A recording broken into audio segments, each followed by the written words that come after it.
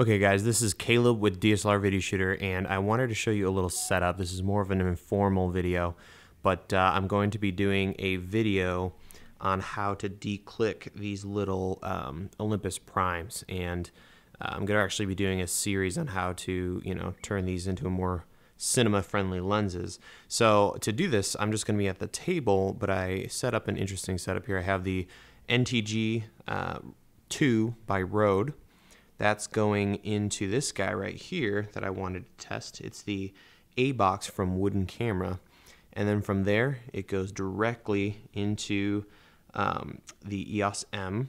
So, you know, this isn't normally how you'd want to do this because, you know, the preamps on the camera are pretty terrible and camera really doesn't capture um, audio very well. So, this is going to be an interesting uh, way to really test it and see what going what what a shotgun sounds like going straight through an adapter into the camera. So um, uh, otherwise, the setup is pretty straightforward. I have a tripod here with the EOS M. This is actually an Olympus uh, zoom lens. Uh, it's an f4 lens. And then I have a lens shade here. This is from Dinkum Systems, and it's great because you can remove these sections and get it to the right size. And that's really handy because I have a ton of light, as you can see coming through these windows. So this will really help um, keep nasty flares away.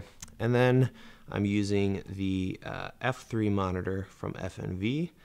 And uh, it'll be a really nice little setup for sitting down at a table, working on some stuff, and uh, allowing you guys to hear and see what I'm doing. So stay tuned for this episode, and um, I will see you in the next video.